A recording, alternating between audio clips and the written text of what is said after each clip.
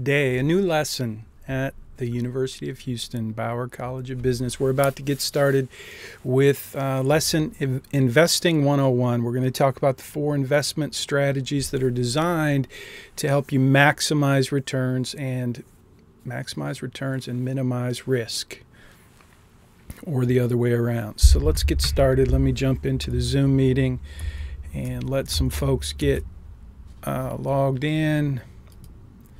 I'm going to admit everyone. Good morning. Good morning. Good morning. I see a camera that's upside down. That's interesting. Oh, no, it's not upside down. It's pointed at the ceiling. Carolyn, how are you? iPhone guest, how are you? Meredith, good to see everybody. Hey, could you please let me know you can hear me? You can just drop a chat in. I'm good. I'm good. Good to see you. Yes, you can hear me. Okay, great. And I'm assuming you can see my screen, this screen that, uh, can you see my screen moving up and down there? What you see is a little different than what I see. So let's just make sure that you see what uh, I want to go over this post, this article on investing. We're going to jump into investing today. Carolyn, can you see my screen? Do you see me moving that picture up and down? There. Can you see that? Yes, great. Okay, cool.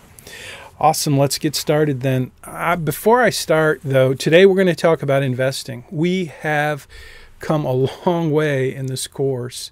Uh, summer school 2023 is quickly vanishing. We had a holiday last week, the 4th of July, so we did not gather, uh, and you did not have any homework due last week. It was due today. Um, so we have a couple more assignments that got posted in Canvas today for you to be due next week. And then uh, after that, we have the capstone assignment. So we're going to be moving quickly through the end of the semester. And I want to make sure that I answer any questions you have and make sure you're keeping up and earning every point you can possibly earn towards that magical 950 points. So before I move on, I want to invite you, whether you're watching uh, live on Facebook or YouTube, or watching later on Facebook or YouTube, or in our YouTube playlist, I want to invite you now to take a minute and look in your canvas and just see how many points you have uh, for this course right now.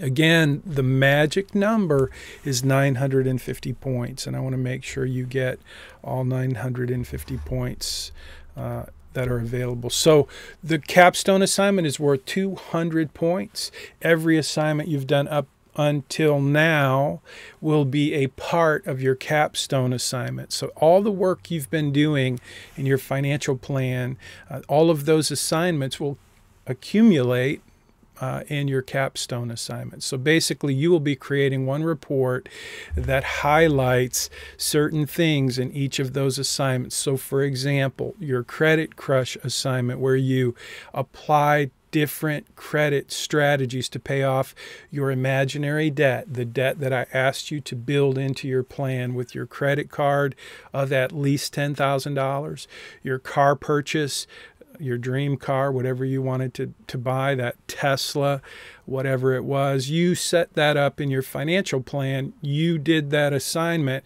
And then your home, your mortgage, those three things.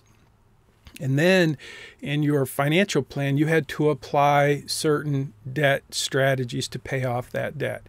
And you got a grade on that and you received some feedback, maybe, maybe not. But it, this capstone assignment gives you an opportunity, for example, in the Credit Crush assignment, to go back and review it. Because even though you may have gotten all of your points in that assignment, that doesn't mean that you didn't have something that was missing or deficient for your capstone. So the capstone is like the final exam, and I want to make sure you know how it will be graded. So it will be graded the same, but here's the thing in summer school, I gave you a lot of flexibility. In other words, sometimes uh, you missed a few things in certain assignments, and I didn't grade them that hard uh, because it's just it's a lot of work to give you feedback. The timing in this course in summer, it's pretty tight, and we're doing two assignments a week. So basically, you may have gotten kind of a, a a good grade, but you still may be missing something. So when you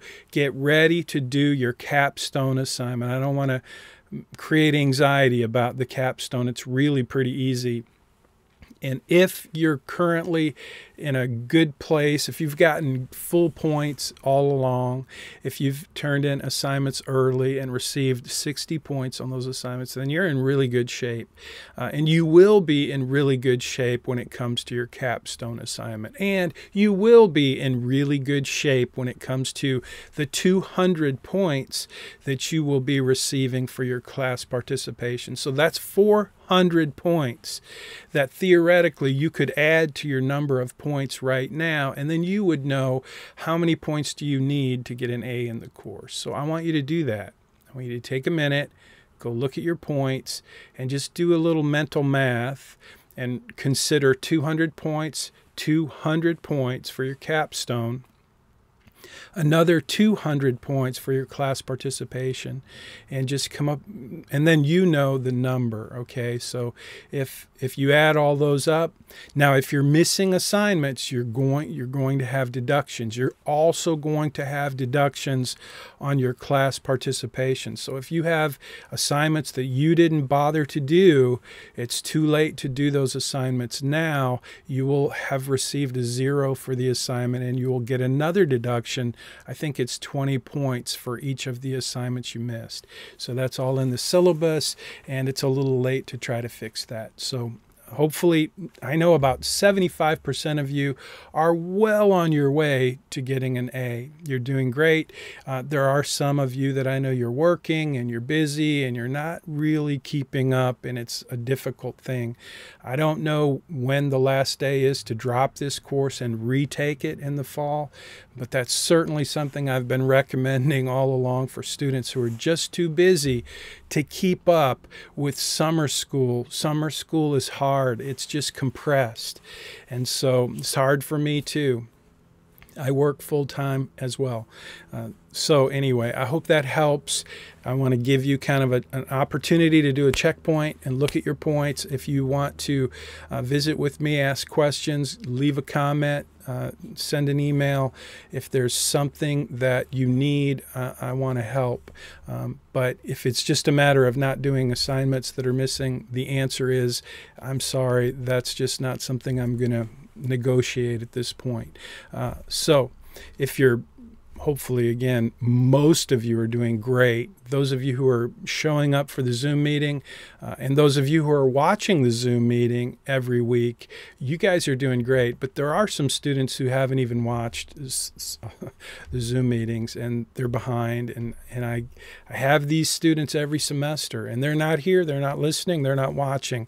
So i'm not really able to talk to them. I'm talking to you and it's like preaching to the choir. Have you ever heard that preaching to the choir? It's like the choir shows up every week and they get the sermon and all the people that need the sermon don't show up. So anyway sorry about that. Hopefully that's helpful.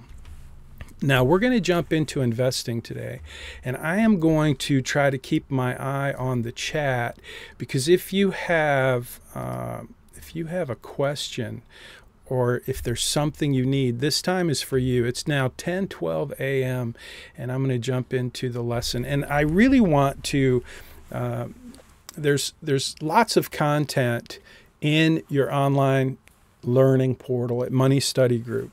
There's uh, really just the assignment gets posted in Canvas, but the learning content that you really need to pay attention to is in Money Study Group, as you know. Uh, so what I want to do is encourage you this week, this in this lesson in particular on investing. If you want to learn uh, how to invest, this is a great the next few lessons, the next couple of lessons, are really designed to help you feel confident in knowing how to invest. But there is some homework there are some things that you need to learn in order for you to benefit from the lesson that I really want to teach today.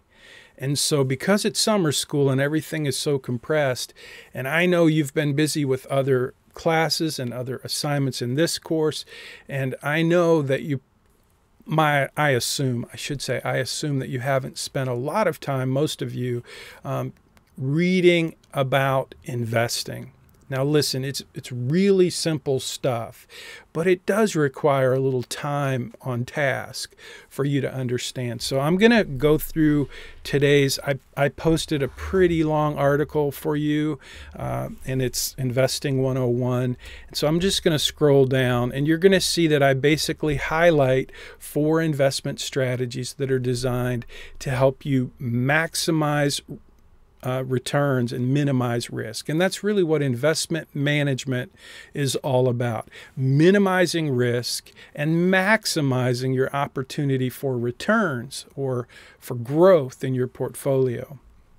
So, if you are willing to learn the things that I point out for you to learn in this lesson, in this lecture, I promise you, you will be well on your way to becoming an effective investment manager for your own investments. Now, a lot of people hire someone like me to manage their investments. And believe me, I'm happy that they do. Uh, I know, like my wife, would not want to learn the things that I'm asking you to learn in this course. She does not want to be involved in managing investments. So she would be happy to hire a guy like me and pay me to manage her investments. And when you know, typically, I don't know if you know this, but typically dudes die long before women. And my wife's a woman and I'm a man. And I know in my family and in my, in my experience, what happens is typically the man dies well before the woman. Women live longer than men.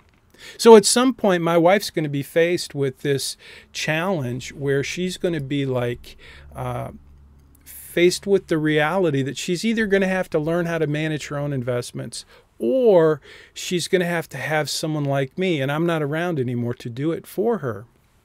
So you have to make the same choice for yourself. And I would encourage you to think about the value, the benefits over your lifetime to learn the basics of investing. And I can't, I just don't have time to spend to teach you everything I'd love to teach you about investing. So I hope we can stay connected over the years and you can continue to learn. I'll share resources with you if you follow me on LinkedIn, Facebook, YouTube. Uh, I have a new YouTube channel. If you subscribe to that even after the semester, I'll be posting lots of helpful stuff, including other resources that you can use to learn the basics of investing. But just know that it's going to take time, effort, and some focus on your point if you want to learn that. Investing is like the number one most popular topic in this course. And I would love to tell you that I can teach you, actually, I will tell you, I can teach you how to become a great investor. I can teach you how to maximize your returns and minimize your risk. I can teach you that, but I can't promise that you will learn it because it will take time. So start by reading the stuff that I put, the articles that are in Money Study Group read those and just try to understand, starting with these four investment strategies. Number one is diversification. Number two is asset allocation. Number three is dollar cost averaging. And number four is portfolio rebalancing. So, again, there is a link to this post as always. When you watch this video, uh, and when you watch this video uh, on YouTube, in the notes section, there or comment section no in the notes there's a link to this post. Now it's also in money study group. It's also at missionalmoney.com if you go there and just search for investing 101 you will find this article. So it's easy to find. If you want to go back you, you can take notes but you don't really need to because i've taken lots of notes for you. And so let me get started. I'm going to scroll all the way down to the bottom of this because I added you can see there's lots of nice pictures to keep your attention and make it interesting. Uh, it's a long article, but it is definitely something you're going to want to read because if you want to understand these four investment strategies, this article just kind of unpacks them. And they really will become a great foundation for you. So I'm scrolling all the way down past all of the four investment strategies, and you can see there. Um, there's podcasts. This isn't. This probably won't be on the podcast. Um, not today, anyway. So I'm going to scroll down to the perfect investment. I included this because we haven't talked we haven't talked about the perfect investment yet this semester. Usually by this point, um, when we have a little more time in a regular semester, I try to introduce introduce the perfect investment um, before now, and I like to at least three times during the semester talk about and reiterate and make sure that you understand uh, how the perfect investment works. So, spend a few minutes with me now, and I'm just going to unpack a little bit about the perfect investment. Now, as a fiduciary, as someone who is in a business that has a lot of compliance, I got to tell you that there is no such thing as a perfect investment. It would be kind of wrong for me to say, hey, this is the perfect investment, which is exactly what I'm saying. This is the perfect investment because it's not really an investment. A 401k is really a type of account. So I want you to think about that for a second. Most of you, most people that I know, most of the clients that I have, and friends and family, when I say something like 401k or Roth IRA or just plain IRA account or rollover IRA or um, there's a number of types of accounts that are familiar to a lot of people. If you have one, of those types of accounts, then you're going to be familiar with it to the extent that at least you know that you have that type of account, like a 401k. If you work for a company that offers a 401k plan, then you have one, probably, hopefully. But I want to make the distinction that a type of account is very different than an investment. Okay? Uh, the perfect investment that I'm going to talk about in the next few minutes is really a type of account. It's a 401k account. And the reason it's called 401k is because that's where it shows up in the IRS code. The 401k is the paragraph number for that particular qualified retirement plan. So it's a tax qualified plan, which means the IRS the tax code gives it special treatment. And that's true about several different types of accounts. And these are very special types of accounts that you need to know about.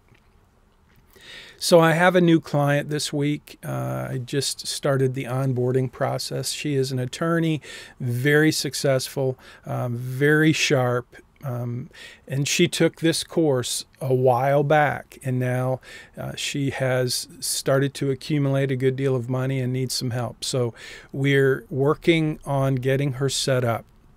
And yesterday, as we had this conversation, it's like the whole idea, the perfect investment the idea of types of accounts, we had to start from scratch. And I get it. She's she's an attorney. She's gone on from undergrad to law school, and it's just been uh, a whirlwind of learning and opportunities. And so, what you learn in this class, I know you're going to forget, and you're going to forget this perfect investment probably as well. But I want you to remember the perfect investment. If I had one like outcome or maybe two outcomes from this course, one would be that every single one of you creates an emergency fund and you fund, you put money in that emergency fund.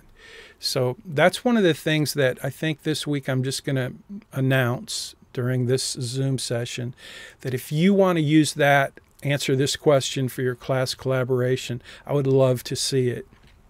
And that is Have you committed to either start or build an emergency fund as a result of this course?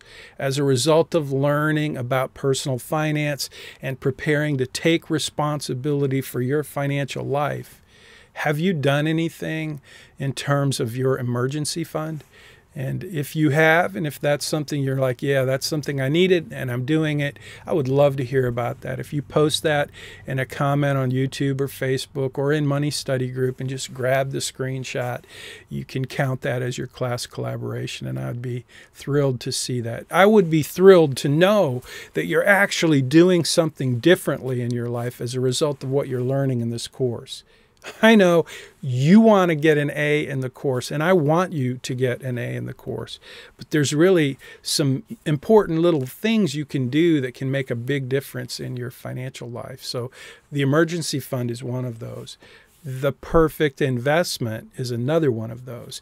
And so, my hope is that when you graduate and you get that dream job, when you finish this course, you'll be fully prepared to take advantage of the perfect investment.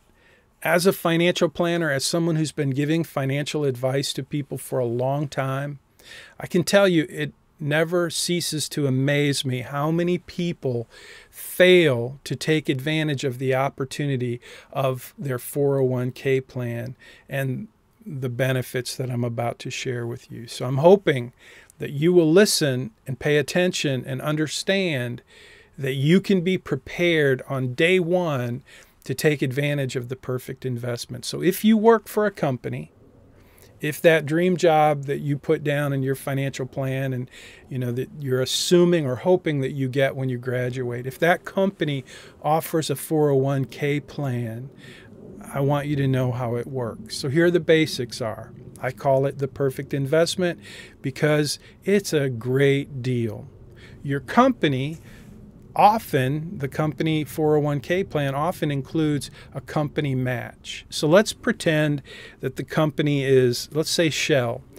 At one time, Shell Oil Company had, I want to say it was an 8% match, and they would match 8%. So what does that mean?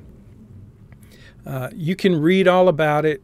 I posted it here, but I want to just kind of tell you the story about the perfect investment and how it works. So let's assume you work for Shell and they have an 8% uh, match. So let's just pretend that you make $100,000 a year. If you make $100,000 a year and the company gives you an 8% match, there's something you have to do to receive that benefit. So First of all, in the chat, someone tell me what is 8% of $100,000? And I keep these numbers very simple so that they will be very simple. So that you can tell me what's 8% of $100,000. I will watch and wait to see that in the chat. Let's see if I can find the chat. I don't see anybody chatting. Yes, thank you, Carolyn. It's $8,000. So I'm going to try to open my chat. Hmm. Okay, yep, it's eight grand. Thank you, Meredith, Carolyn. Uh, so $8,000 is 8% of $100,000. So what do you think you have to do to get your company, if you happen to be working for Shell, making $100,000 a year, and they're offering you an 8% match, what do you have to do to receive that $8,000? What do you have to do? To take advantage of this perfect investment. I'm watching. Yes, thank you, Meredith. You got it. It's pretty simple. To get the 8%, the first thing you have to do is you have to know that your company provides or offers an 8% match. And if you're making 100,000, that means you have to contribute $8,000 to your company 401k plan. It's it's that simple to get started. So in this case, it's eight grand. So what does that mean? Eight grand a year you have to put into your 401k, which is a type of account. It's not an investment. We haven't talked about investing anything. It's just money that you put into the account. And if you put in eight grand, uh, then what will they do? You already know the answer. But tell me just so we can make sure everybody sees it and knows. So you've got a 401k, you work for, let's say, Shell, and they have an 8% uh, matching feature and you have to put in 8%, which is eight grand. So you take $8,000 out of your paycheck every week or every other week, however often you get paid, and you just have that deducted from your paycheck and it goes into magically into your 401k account. And then the company matches what you put in. So at the end of the year, how much Meredith do you have in your 401k account? Yes. Thank you, Carolyn. Yep. Meredith, thank you guys. It's $16,000. Now, if you reviewed Dave Ramsey's seven baby steps, they're pretty helpful. They're very simple, but they're pretty helpful. The last one, I maybe the second to last one, number six, I believe, is to contribute 15% of your income to a long term retirement plan. That's one of the baby steps. So if you want to learn Dave Ramsey's seven baby steps, they're in Money Study Group. They're a helpful kind of template for financial planning. If you just took away one thing from this course and you learned and actually did those baby steps, you'd be in good shape. One of them is the emergency fund, and one of them is basically this perfect investment. Although he doesn't talk about the perfect investment, he just says save 15% for retirement.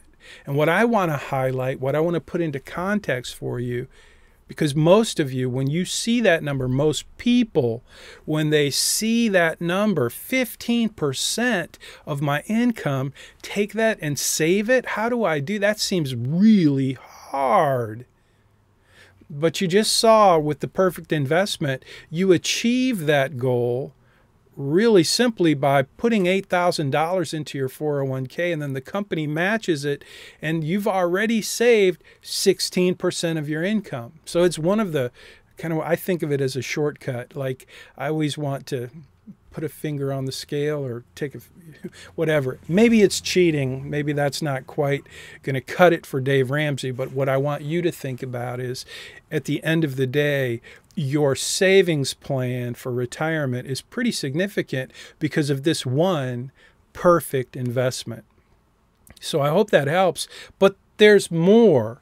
So does anybody else does anybody know what else we might consider a huge benefit that would make this the perfect investment? Your 401k with a company match where you are contributing money directly from your paycheck into this account, this special type of account called a 401k. Anybody know what another benefit might be? Uh, Carolyn, you say tax free at retirement. So think about that for a minute. Tax free at retirement. It's not actually tax free at retirement.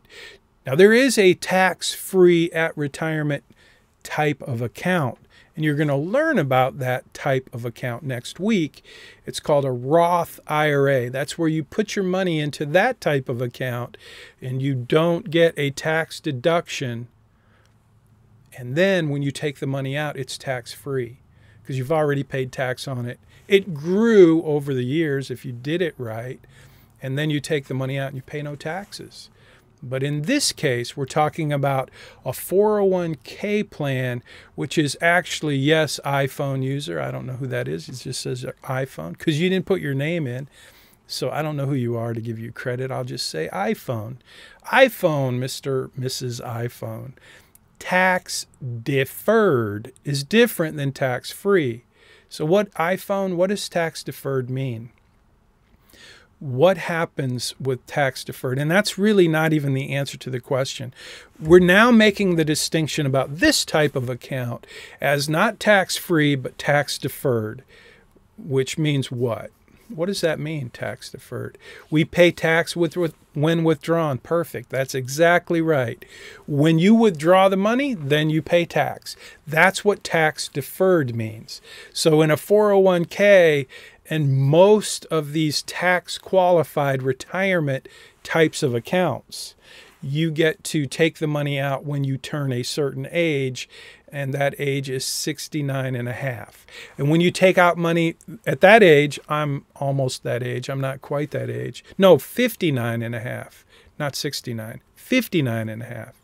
And unfortunately, I am that age. So I can take money out of my 401k at 59 and a half. I'm actually 61, so I could have been doing this for some time.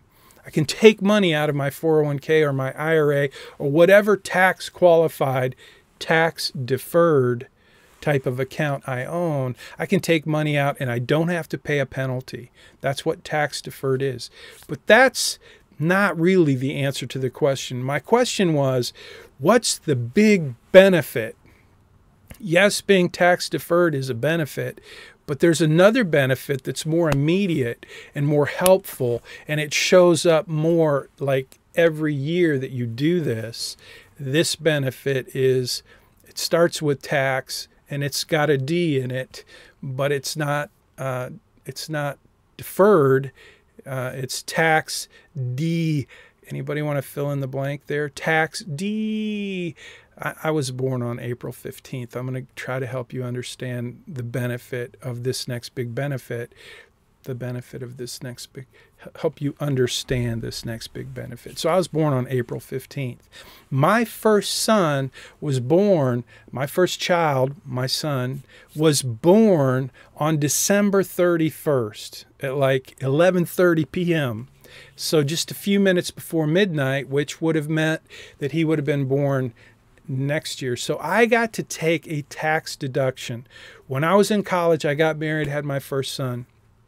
And at that time, I want to say it was a $1,250 credit, which is like a tax deduction on steroids. It's a, it's, it's a tax credit which is like a tax deduction. Basically, not only do you not pay tax, but in a tax credit, you actually get money from the government. Um, so tax, the thing about a 401k or any tax deferred type of account is when you put money into it, you get a benefit from the IRS. It's called a tax deduction. That's what I got with my son who was born the last day of the year. I got to have a deduction for the entire year, even though he was born the last day of the year. So I like tax deductions. They're great. And when you put money into your 401k, that's one of the big benefits. It's one of the things that makes it the perfect investment. So that's you get the company match and you get a tax deduction. So if that's true, then what does that mean if you make a 100 grand and you put 8 grand into your 401k, how much do you pay tax on? What amount of money are you responsible at the end of that year to pay the IRS for your income? I'll wait. Yeah, Carolyn, that's pretty simple, right? Now, if you do the math, which your financial plan will help you do if you want to check this out, if you're making $100,000 a year and you're funding your 401k, you can see what your tax liability is going to be and how much it goes down. And I promise you, it makes a difference. And over time, it's like a compound growth uh, situation. Not only are you getting the money growing in your 401k plan, because you're adding $8,000 to it every year. And when you get a raise, if you keep contributing 8% and now you're making let's say 150 grand now it's $12,000 you're contributing and your company's matching that and you're getting a tax deduction all of these things kind of pile up and help you build wealth so I could teach you all about the inside baseball of investing. I know a ton about investing, but I'm telling you, the perfect investment is the number one thing you need to learn uh, about investing, about building wealth, before you learn all the other minutiae that I want to teach you. And I do want to teach you. I want to teach you these four investment strategies that are designed to help you maximize your returns and minimize risk. Because if you learn those four investment strategies, you can take those four investment strategies and you can apply them inside of your 401k plan. But first, you have to make sure that you're taking advantage of the perfect investment, which means putting money into that type of account long before you ever decide what you're going to actually do as far as investments go. Because a type of account doesn't have anything to do, well, it's not the same as investing. Once we get the money in the account, then we have to make a decision how are we going to invest it? So I want you to understand the distinction between a type of account and an investment. Just know that there's a world of difference. And the type of account matters because that's what makes it the perfect investment in this case, which means I want you to know on day one, when you sign up, uh, when you go to work, on day one, you're going to meet with HR human resources. They're going to do orientation. They're going to tell you all about the benefits that you get in that job. One of the benefits, hopefully, will be your 401k plan. And they'll sit down with you and they'll give you a form and they'll say, Do you want to participate in your 401k plan? And your answer will be, Yes, I do. And the next question will be, How much do you want to contribute to your 401k plan? And your answer will be, hmm, what is the company match? And whatever that company match is, you don't have to think about it. You at least want to contribute the amount of the company match. So again, if you're working at Shell, pretend you make a hundred grand, they're paying eight they they have an 8% match. You do some quick math and you go, okay, what's that divided by how many times do I get paid? Let's say you get paid 24 times a year. You take $8,000, divide it by 24, and that's how much you have subtracted or removed from your paycheck and contributed to your 401k. It's super simple math. And you need to be ready to make those decisions on day one. And once you've done that, the next question is going to be okay, if you're going to put that much money into your 401k, whatever amount of money you want to put into your 401k, how do you want to invest it? And that is where these investment strategies come in. And so I'm going to teach you now these four investment strategies that you can apply inside of your 401k and anywhere else you're investing. So I hope that helps to set the table because if I were in your shoes, I wish someone would have told me that the perfect investment, one way I can really start to build wealth for myself for my future, especially and specifically for retirement. And retirement may seem like forever, forever away from you, but I think of retirement as simply financial independence, having enough wealth built so that I don't have to go to work for someone else or even myself. Like, I don't have to work. I like to work. I don't ever want to retire. As long as I can work, I enjoy working. It feels good to work. Uh, and so, but I didn't really enjoy working for Morgan Stanley on Wall Street was a great company. Uh, I worked with some really nice people, um, but it was a sales job. And I didn't enjoy having the pressure of always having to get new clients all the time. No matter what it took, if I wanted to keep my job, I had to sell. Same as when I was a State Farm agent, the company wanted me to be selling insurance all the time. So, I mean, that's why I'm independent now. And to me, independence is like the ultimate goal. It, when it comes to finance, finances, like why do you save your money? Why do you invest your money? Why do you work hard to be a good steward with your money? What matters most to you? And I don't know the answer to that for you. But you need to think about that. And so I'm trying to teach you some things you can do for long term success. And this perfect investment is one way you can really move the needle on your life in terms of financial independence. And at some point in your life, you're not going to want to have to work for that company. Even though they may be a great company with great people, there's going to come a time in your life where you're going to want to do it because you choose to do it, not because you have to do it. and that's financial independence. It doesn't mean you quit working or leave the company, but there may come something something may happen in your life where you go, "You know what? I want to go live on another continent and do something that's totally not because I have to make an income." That's that's anyway the perfect investment. I hope you are picking up what I'm putting down. I hope that when you start that job, you're ready to take advantage of the perfect investment. Now, let's just talk through these four investment strategies. And again, you have all this content, but I want to just highlight them. And as we go, I want to answer any questions you have. Uh, so, first is diversification. It's the simplest, most basic investment strategy. I like to use this picture of uh, picture of an elevator. So, I had a kind of a mentor early on when I became an investment advisor. He was with Edward Jones. His name was his name was David Coney. We used to sit around. He called it his fireside chat and he was great at telling stories. So he had a story to illustrate everything.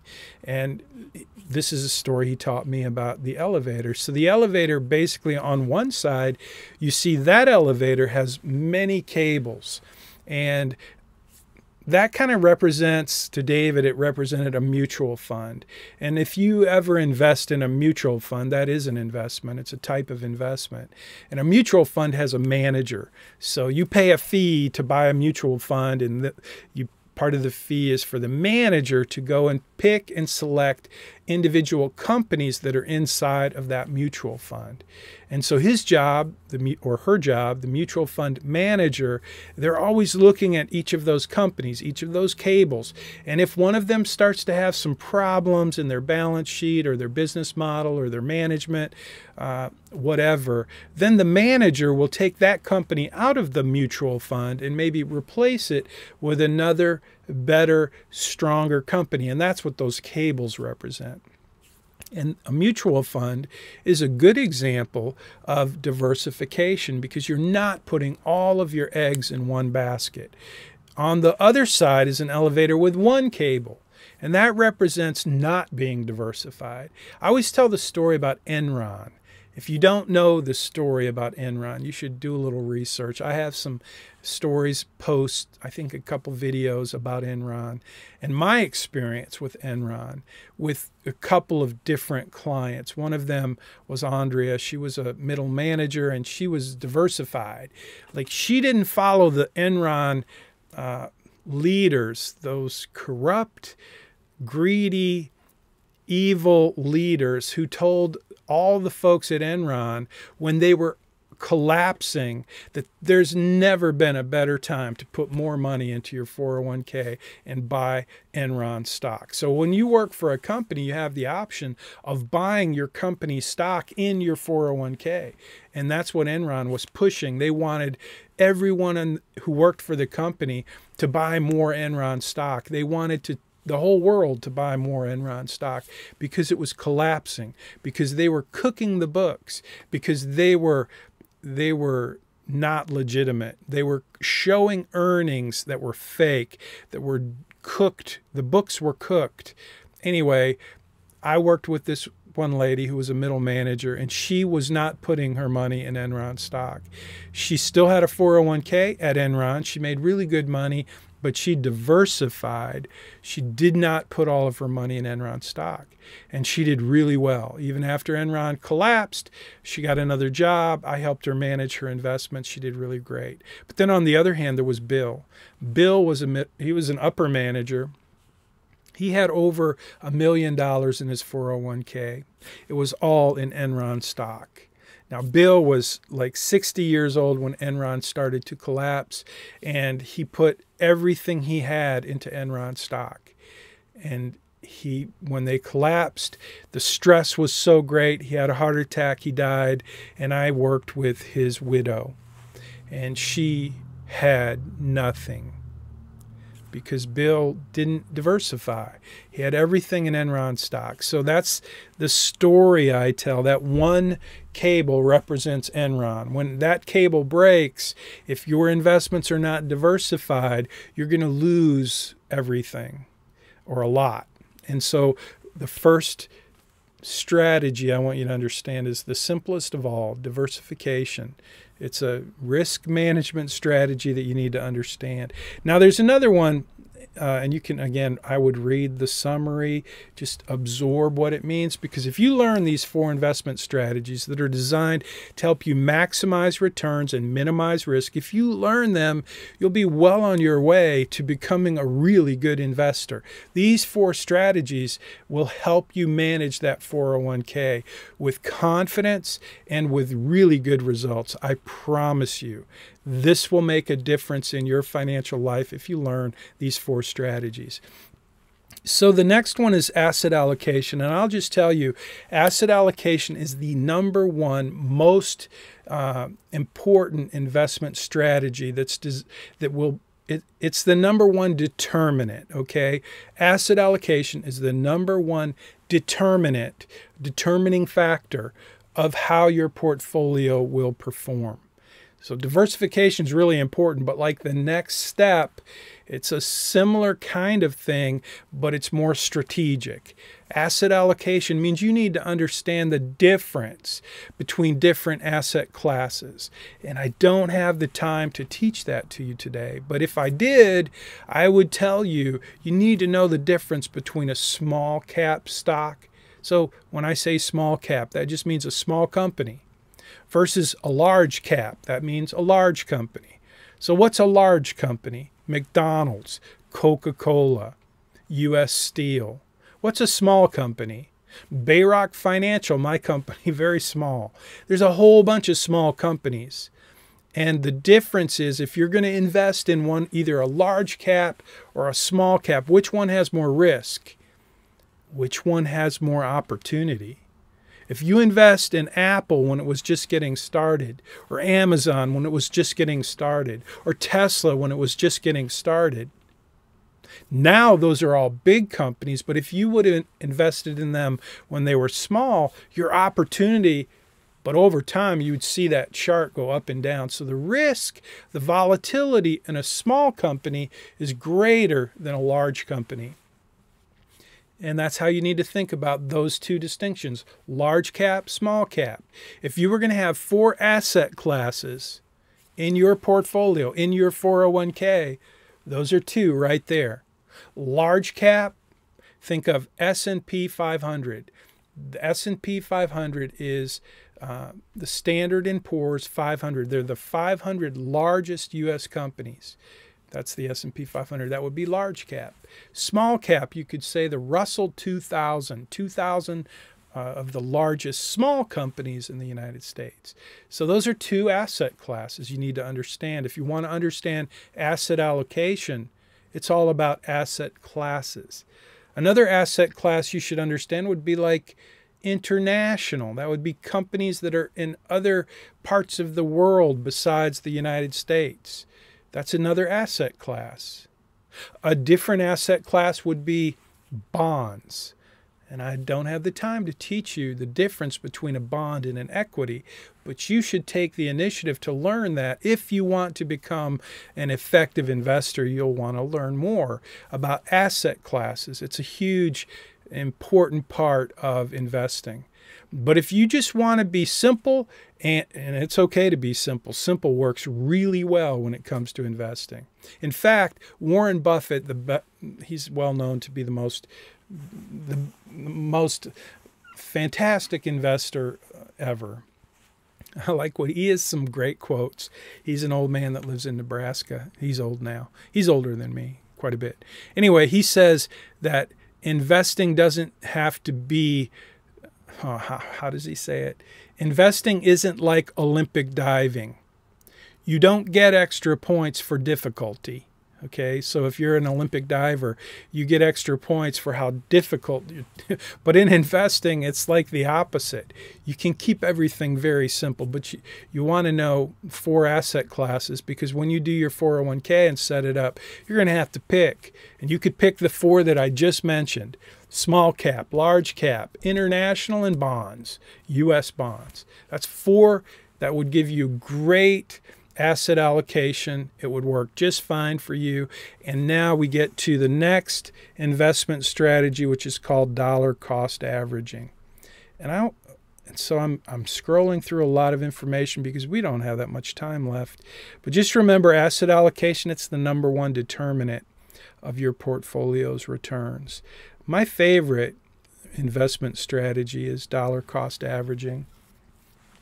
Dollar cost averaging, you'll want to read the summary for dollar cost averaging, but I'm going to tell you a quick story uh, and then I'm going to have to tell it quick if we're going to get it in time, or I'll keep you late. Uh, so, dollar cost averaging. Hold on, I've got. uh, sorry about that.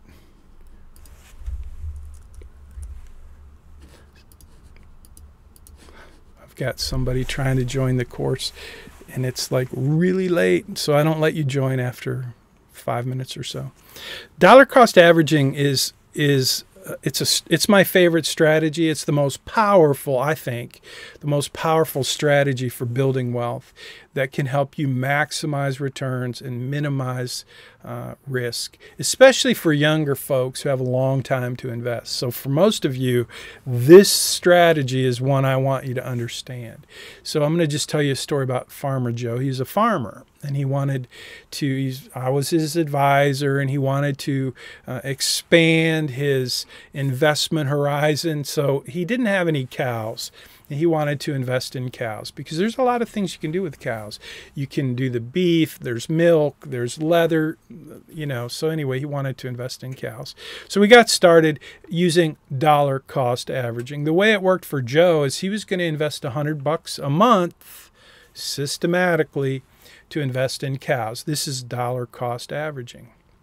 So the first month he invests his 100 bucks and cows happen to be 20 bucks ahead. So how many cows does Joe get to buy that month? Think about it. He's investing 100 bucks and let's pretend this is an asset class. It's not a chicken, it's not a pig, it's a cow. Uh, but it could be a large cap, small cap, could be a bond, could be whatever investment you want it to be. But in this case, it's cows, and they're he's investing a hundred bucks a month. Like it could be his 401k account, but it's his cow account. And he's putting a hundred bucks a month towards that, and then however many cows he can buy each month, according to that hundred bucks, he gets to buy that many cows. And this month, cows are 20 bucks ahead. So he puts his hundred bucks in. Oh no, cows are a hundred bucks ahead. I should pay attention to my notes. So the first month, cows are a hundred bucks ahead. How many cows does Joe get for a hundred bucks? I'll wait for you to tell me chat. I want to make sure you're you're here. Show chat. How can I?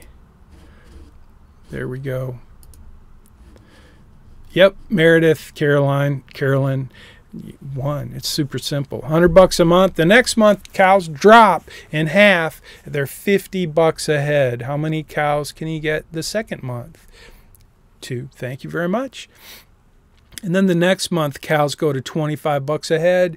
and you guessed it, four cows. Thank you very much. And then finally, the not finally, but the fifth month, cows drop all the way to 20 bucks a head. And I'm looking at the screen to see who's going to be first. Yes, Carolyn, you win. Five cows. You get it right. A hundred bucks a month. That's a systematic investment. The price of cows go up and down. The more cows cost, the less number of cows you're going to buy with your 100 bucks. The lower cows go, the more cows you're going to be able to buy. And at this point, I'm fast. Huh. yes, she's fast. So here's the thing though. Joe calls me up when cows drop to 20 bucks a head and he's like, "Jim, what did you get me into? Cows are a disaster." And I'm like, "What? Wait a minute, Joe. Let's talk about opportunity, risk, reward." And basically he's telling me like cows started at a hundred bucks a head and I could only buy, you know, I got one cow at a hundred bucks a head. Now they're 20 bucks a head. I want to sell all my cows and get out of cows. I don't want to do cows anymore. I'm like, dude, wait, hold, wait, stop.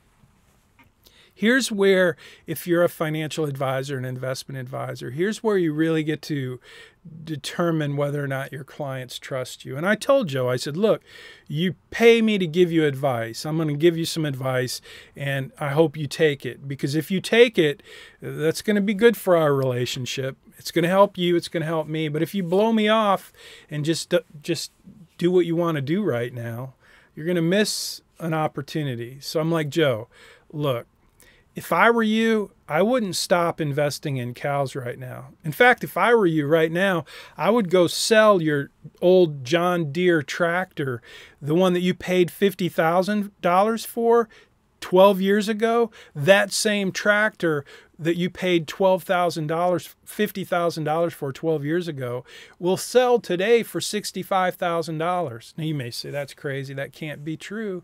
But it is true. Here's why because the old John Deere tractors didn't have near as many computerized parts on them. So all the old farmers, they can't find technicians to work on their new tractors.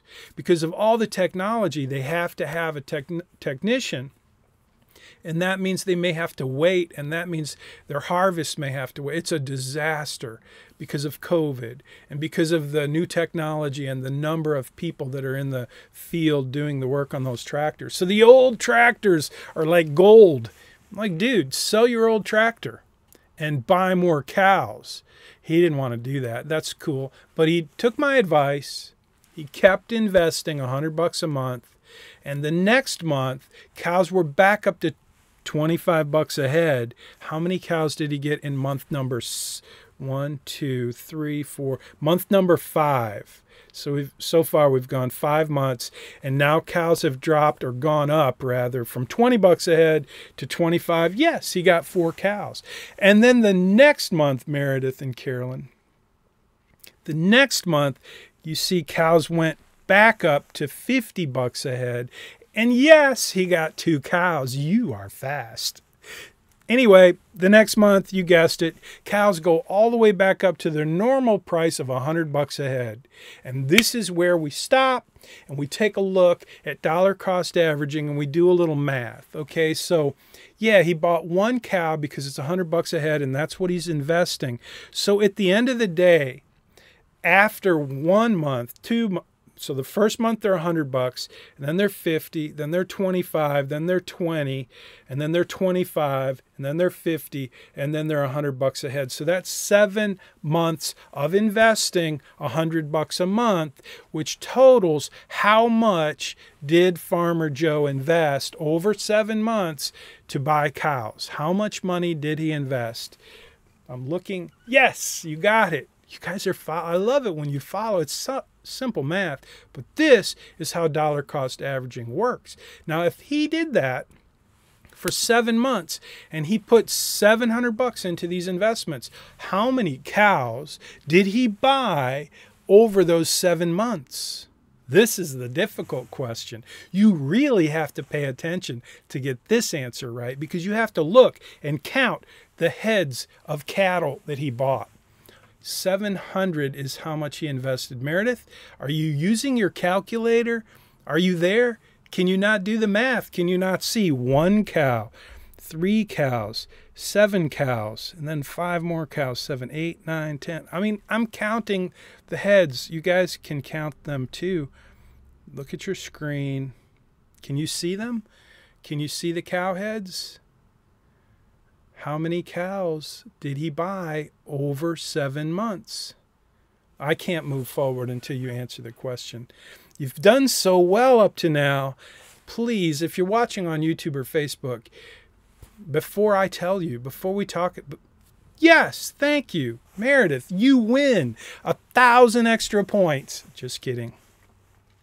19 cows. It's pretty simple, right? Yay, yes, yay. So first of all, if you just count them, you can see that it's 19, but do the math in your head.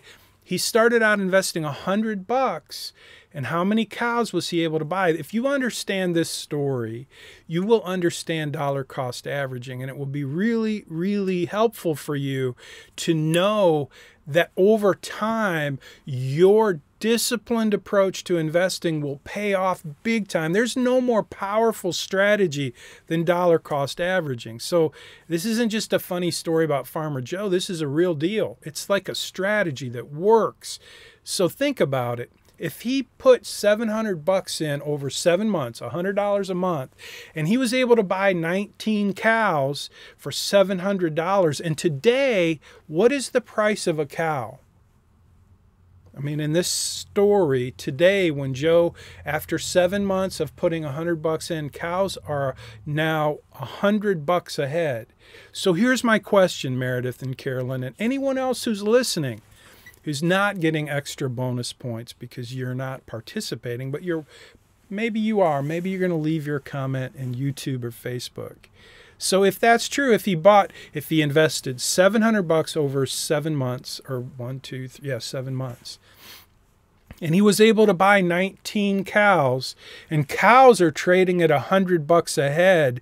Now's the time I'm saying to Joe, okay, Joe, let's maybe think about getting out of cows for a while because they're up to 100 bucks a head. How much money did you make?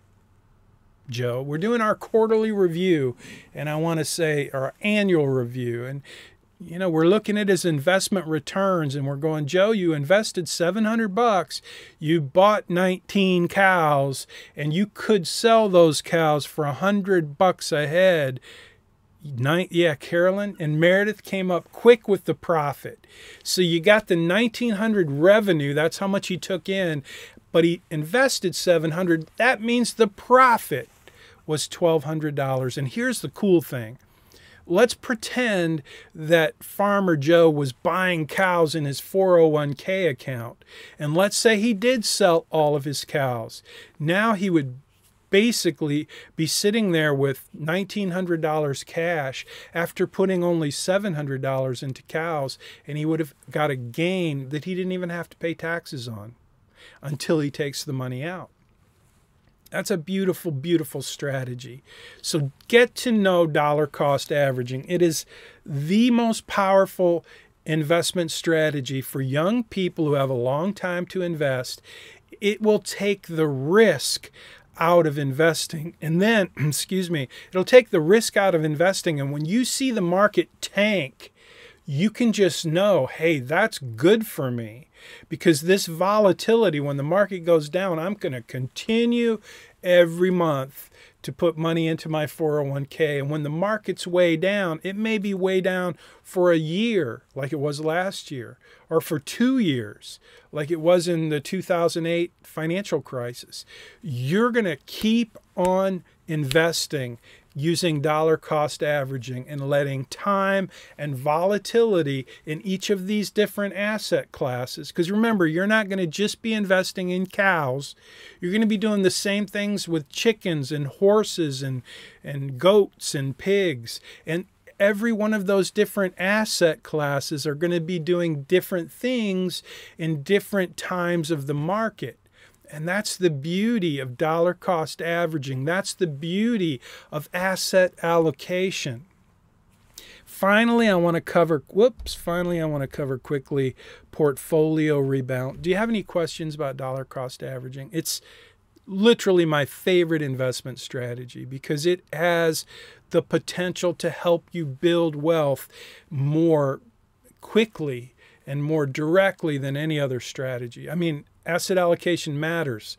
But when you do asset allocation with dollar cost averaging, like in your 401k, it's almost like bulletproof. It's just a great set of strategies. So get to know these strategies, uh, and then we get to portfolio rebalancing. And I'm just going to quickly say look, if you don't the name portfolio rebalancing should be pretty self explanatory. You should read the summary, read about it. But basically, what it means is different asset classes go up and down. And every once in a while, like quarterly or twice a year, or at least once a year, you should rebalance your portfolio. And what that looks like is Imagine you have a circle, a pie, with four quadrants, okay, four quarters. And one of those quarters could be cows, or it could be large cap stocks. You pick. But what happens over time is one of those quadrants turns into, it grows, it goes up, up, up. And another one may go down, down, down.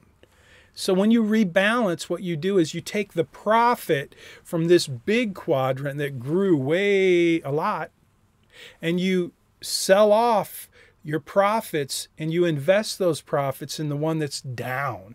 Like you want to buy low and sell high. And when you rebalance your portfolio, that's what you're doing. You're selling high and buying low, and you're doing it on a systematic basis. So you don't even have to think about it. You just hit a button. Most 401k plans have a, you click here to rebalance your portfolio. And by doing that, it's like doing dollar cost averaging across your entire portfolio with one click of a button. That's portfolio rebalancing. Four investment strategies that are designed to help you maximize returns and minimize risk. Diversification, the simplest one. Asset allocation, the number one most important determinant of your portfolio's returns. It's like diversification with a strategic approach. You got to understand the difference between different asset classes and how they go up and down at different times in the market. You don't really need to be an expert. Just know that asset allocation is based on asset classes. That's what makes it work. Number three is dollar cost averaging, the most powerful investment strategy for a younger person who has a long time to invest. It will give you the best bang for your buck. It will help you build wealth. It's it's just a powerful strategy. It's my favorite. Dollar cost averaging. And finally, portfolio rebalancing, which takes all of the other strategies and just kind of with one click you rebalance your portfolio and over time that can make a big difference in the results. So take what you learned about the perfect investment Build onto it with these four investment strategies. Learn a little bit about asset classes, and you'll be well on your way to taking advantage of all of the investment strategies you need to know to become an expert in investing. And you start with your 401k because your 401k is the perfect investment. Any questions, comments, funny pictures? You guys have been fun. Meredith and Carolyn, I really appreciate you being with me today and your interaction. Thank you so much. And you too, iPhone, whoever you are. One new message. Uh, I'm glad this was fun. Hopefully, it was helpful too. This is really the central way to build wealth is to know these strategies and to put them to work in your 401k. Yeah, we'll see y'all later. I'm glad it was helpful. Thank you so much. You guys have a great day. I am going to jump on over to the live stream and I'm going